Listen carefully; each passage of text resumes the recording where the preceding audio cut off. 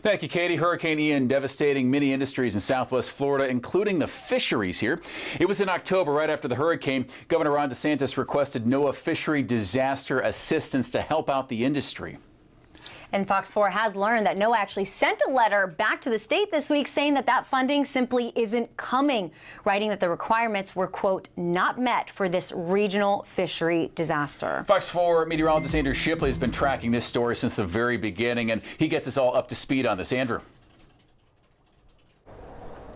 Yeah, and right behind me is uh, Island Seafood Market, one of the many uh, fish houses that were damaged and destroyed, as well as one of the grouper boats uh, here as well. Uh, I did speak to shop owner uh, and fisherman Casey Streeter about this delay and what it means for the industry by the federal government not coming in and supporting our fisheries and our time and needs, I mean, it really puts us on the verge of, of losing these fisheries in Southwest Florida. When Hurricane Ian hit Southwest Florida, destroyed four or five fish houses on Pine Island, where fishermen offload their catch. It also crippled the shrimping fleet for months. Casey Streeter says the loss of infrastructure is still a problem. If you don't have a place to execute these fisheries, you're not going to have fishermen. And when you lose your fishermen, your current fishermen to land jobs and they leave the fishery, they're not going to return. They don't return. And if we lose our working waterfront, Streeter says the economic impacts will be widespread. In these fisheries in Lee County alone, we're the third largest seafood producing county in the state.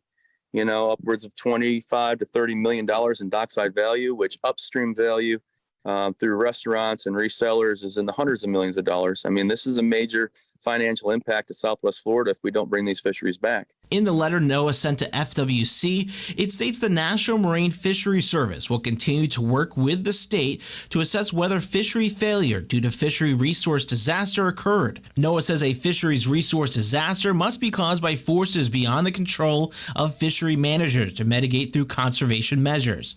If it is determined, then the Secretary of Commerce may provide disaster assistance.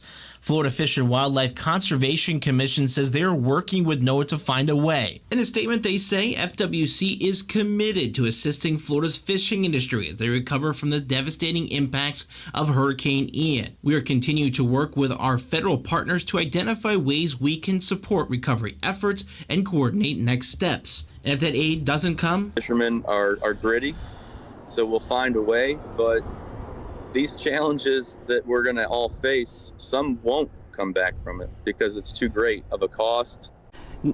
And as of now, Streeter says he's planning on coming back this winter and hopes to be able to supply fish again for the Christmas season. Unfortunately, he says if others don't get this assistance, they may not be so lucky. On Matlacha, meteorologist Andrew Shipley, Fox 4.